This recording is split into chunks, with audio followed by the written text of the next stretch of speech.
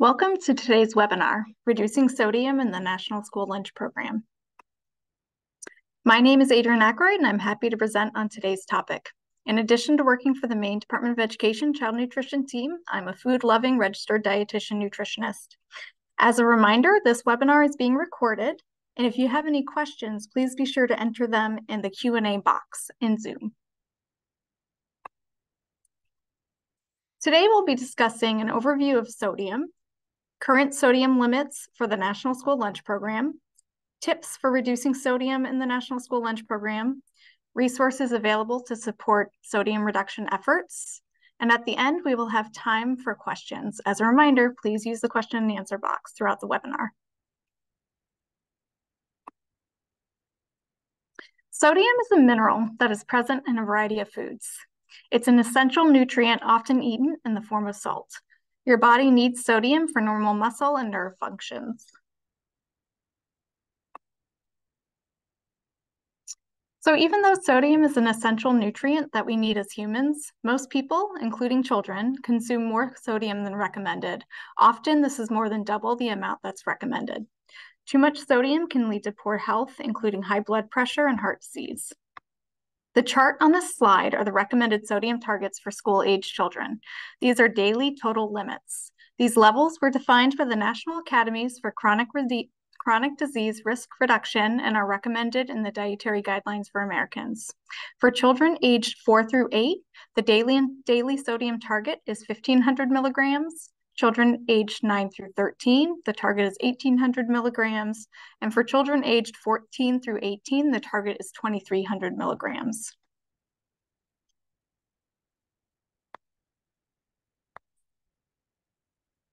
Where can you find sodium? Sodium is found naturally in some foods, for instance, in celery. Um, if you take a piece of celery that's been limp, I'm sure we've all experienced limp celery before, and you stick it in a cup of water and put it in the fridge, before you know it, it's going to crisp up. And the reason for this is the natural sodium that's found in celery. Sodium pulls in, pulls in water, so the sodium crisps up as it absorbs the water. However, sodium is also used as a food ingredient.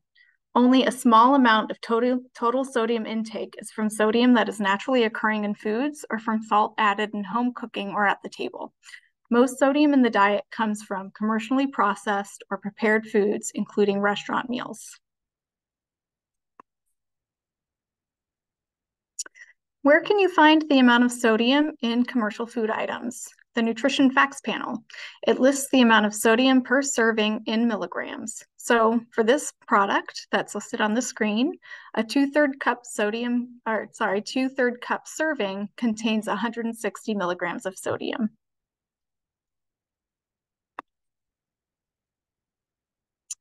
Let's discuss the current sodium requirements for the National School Lunch Program. As a reminder, today's webinar is for the National School Lunch Program, so we're going to be talking about lunch only. These are not the breakfast requirements, these are for the lunch program requirements.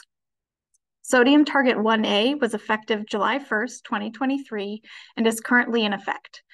The limits are less than or equal to 1,110 milligrams daily sodium average for grades K through 5, less than or equal to 1,225 milligrams for grades 6 through 8, and less than or equal to 1,280 milligrams for grades 9 through 12. In comparison, the row above shows the sodium limits that were effective last school year. You can see there was a gradual reduction. As a reminder, sodium target 1A is included in the transitional standards for milk, whole grains, and sodium final rule published in February of 2022. The 2022 Transitional Bridge Rule provided schools with short-term standards as they moved beyond COVID-19 nutrition waivers.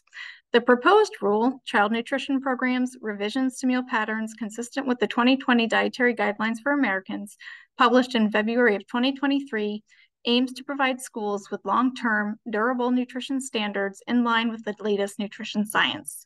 USDA plans to develop a final rule based on the feedback they gathered during the public comment period, and that final rule should be published in 2024.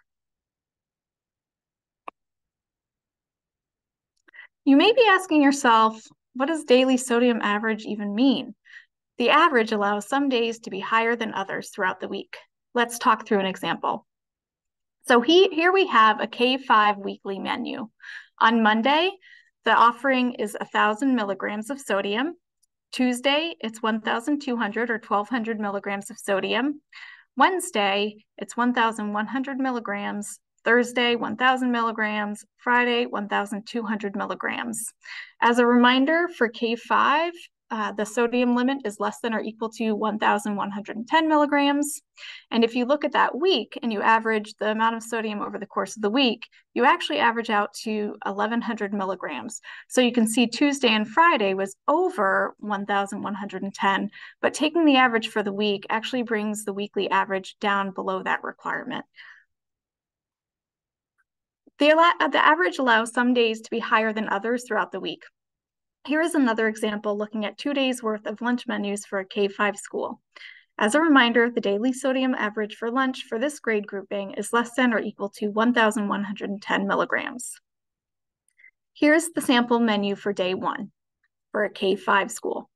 1% chocolate milk, which has 220 milligrams per serving, two ounces or two slices of whole grain rich bread. Whole wheat bread here is 300 milligrams for both slices to, together. 0.5 ounce or one slice of the USDA commodity, commodity American cheese is 135 milligrams. 1.5 ounce equivalent of the USDA commodity deli ham is 348 milligrams. One cup cucumbers is just about three milligrams. One apple is just about two milligrams for a total daily um, sodium milligram content of 1,008 milligrams.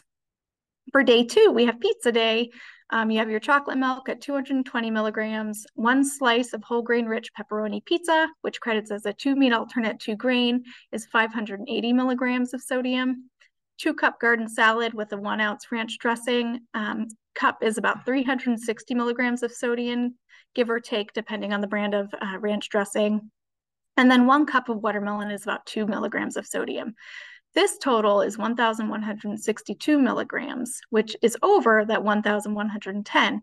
But when you average it with day one, it actually brings you below um, the daily sodium average limit um, for a two-day average of 1,085 milligrams.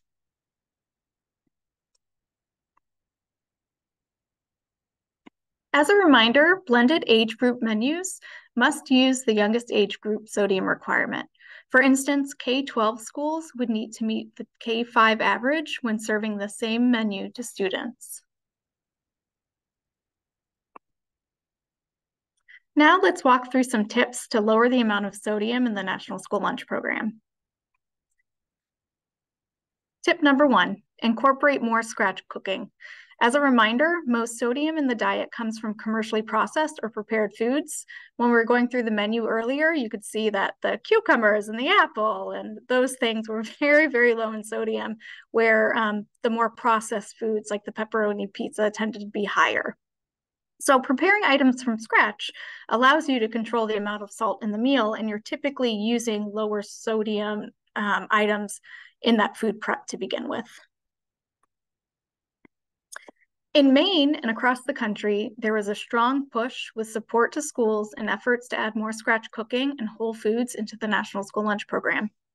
Grant opportunities include money for equipment, equipment to help um, support scratch cooking, money for local foods and whole foods, um, healthy meals incentive grants, and full plates, full potential grants.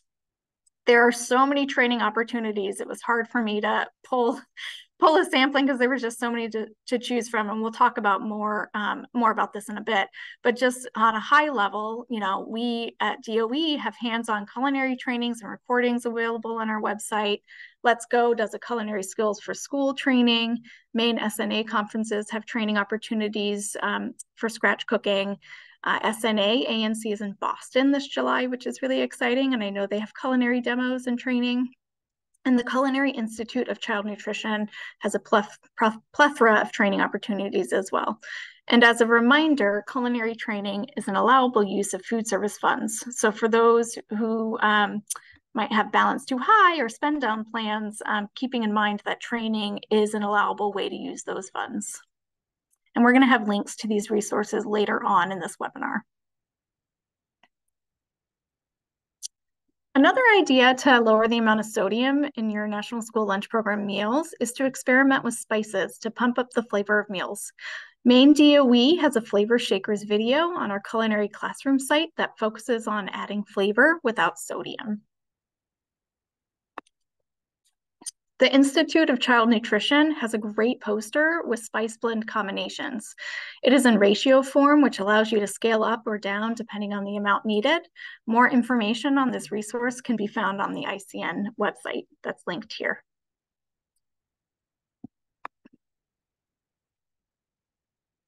How can spice blends be used? Spice blends work great on the following, um, and this is very um, a small sampling on how you can use spice blends, but some ideas are to use them on roasted vegetables, roasted legumes like chickpeas, fish, poultry, and burgers. And did I say fish? Yes, I did. This is a great time to plug Maine Fish for Maine Schools. Um, check out our Thursday updates for more information on this awesome program that provides free local fish to schools. And then once you get those fish, experiment with spice blends. It's a great way to use it up.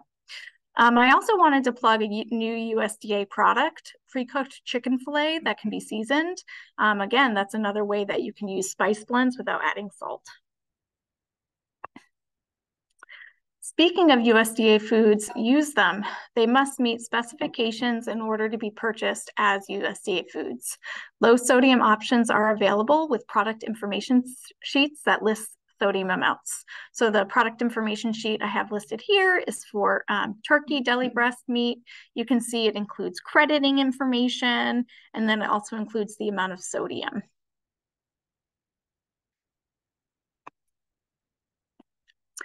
Remember there is a daily sodium average for lunch. This is where balance is key. Keep popular items like pizza on the menu while lowering the daily average sodium amount by adding lower sodium meals like scratch-made chicken stir fry with whole grain rice. As you can see here, your slice of pepperoni pizza, a standard two uh, meat alternate, two um, whole grain rich slice provides 580 mm. milligrams of sodium, whereas one of the recipes I found on a website we're going to talk about in a little bit, um, one cup of chicken stir fry, and when I added one cup of brown rice to that, um, came in at 311 milligrams of sodium, and that is a two meat, um, two whole rich uh, grain item as well. Need more ideas? Check with food vendors on a regular basis to see what lower sodium items are available. USDA works with industry on sodium guidelines and timeline for implementation, or test out simple swaps. swaps. One idea a director shared was serving hamburgers instead of cheeseburgers to reduce the daily sodium by 135 milligrams. There are plenty of resources available to support sodium reduction efforts for National School Lunch Program. First up, recipes. Some recipe resources include Maine DOE's culinary classroom website, healthyschoolrecipes.com, the Child Nutrition Recipe Box, and Recipes for Healthy Kids cookbook for schools. Here is our Maine DOE culinary classroom page. We include recipe videos to try on this page. So when you click on the link, you'll get um, a demonstration by our culinary specialists um, on how to uh, put together these recipes.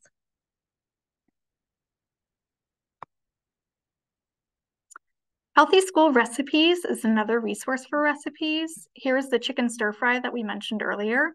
In addition to the recipe, crediting information and nutrition facts information, including sodium, is available.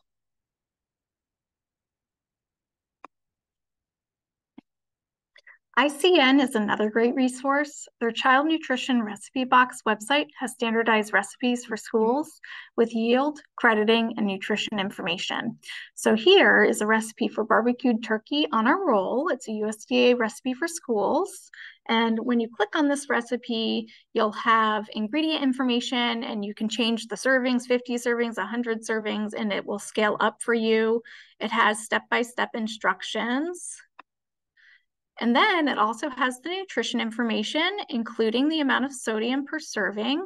Um, and it um, has yield and volume information and crediting information as well. So this is a great recipe resource to use.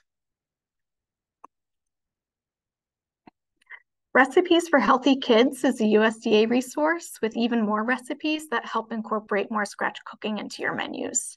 Similarly, when you click on these recipes, you'll get um, not only the um, ingredients needed and the instructions, but you'll get crediting and nutrition facts information as well.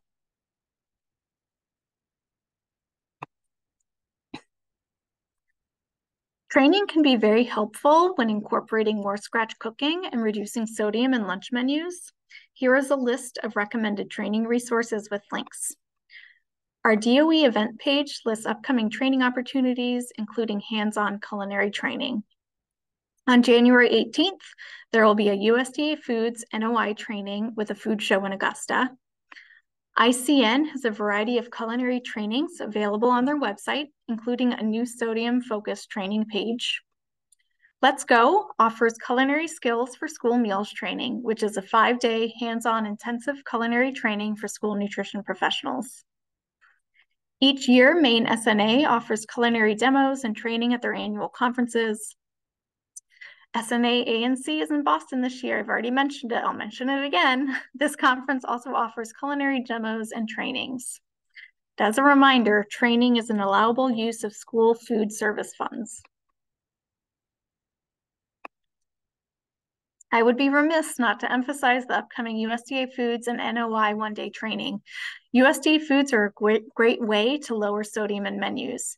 Think outside of the brown box and register for this training in Augusta on January 18th. ICN offers online training resources through Shaking It Up. The Shaking It Up resource page provides a range of educational resources and training materials, including training worksheets and online courses. You may need grant funds to support the transition to more scratch cooking and the addition of whole foods into menus. There are a variety of grants available to support this process. Maine DOE grants include supply chain assistance and local foods grants, which provides funds to purchase domestic or local unprocessed or minimally processed foods. Equipment grants can be used to support scratch cooking efforts. USDA FNS has established the Healthy Meals Incentives Initiative to improve the nutritional quality of school meals through food system transformation, school food authority recognition and technical assistance, the generation and sharing of innovative ideas and tested practices, and grants. Full Plates Full Potential has grants available through their website. They will also be offering grants through the USDA School Food System Transformation Challenge subgrants, which is part of the Healthy Meals incentives. Earlier in this presentation, the proposed updates to the school nutrition standards were mentioned. Here's the link to learn more about the proposed updates.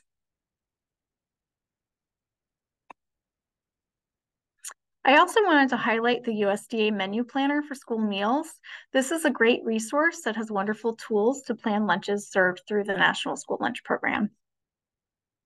It includes a section on salt and sodium reduction tips, um, including things like focusing on fresh versus processed foods, which we talked about today, um, menu site prepared foods, so cooking from scratch, um, using things like herbs, spices, garlic, vinegar, lemon juice for seasoning rather than sodium, um, using the nutrition facts panel to find sodium amounts so you can plan your menus to make sure that um, your sodium is spread out throughout the week. Um, and it also includes some information on condiments. Here is the link to USDA product information sheets. As mentioned earlier, these sheets list, it, list crediting information and nutrition facts information, including sodium. And you can see that it's organized um, by USDA fruits, USDA grains, meat, meat alternates, vegetables, and other foods for easy navigation.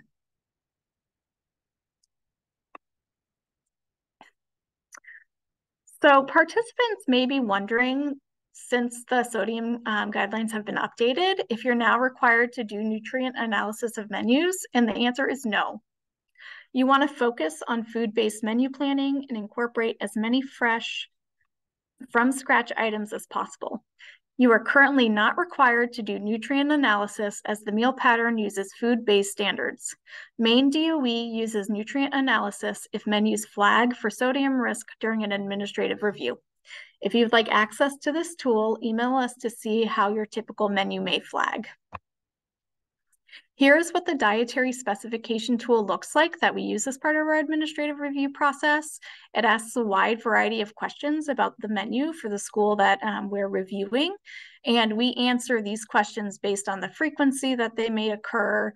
Um, for instance, um, only low fat 1% milk or less or fat free unflavored flavored milk is used for consumption in menus, we would answer all always, most items, some items, never. Um, so we would change the answer to a one. Um, if you were always making sure that your milk met the requirements. And um, that's just an example, but we have a tool that you see here that we go through and we answer questions as part of the administrative review process. And when we get to the end, after answering the questions, we have um, a risk indicator. And if after answering the questions for the menu that we're reviewing, uh, the menu is low risk, we do not need to do nutrient analysis. If it were to flag, we would then do nutrient analysis and we would see the amount of sodium in your menus. Okay, so we covered a lot of content today. I wanted to now open it up to questions. So what questions do you have?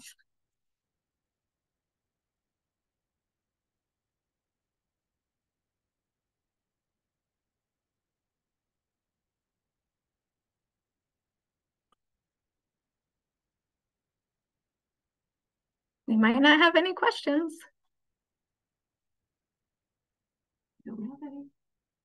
Okay, um, so we do not have any questions today.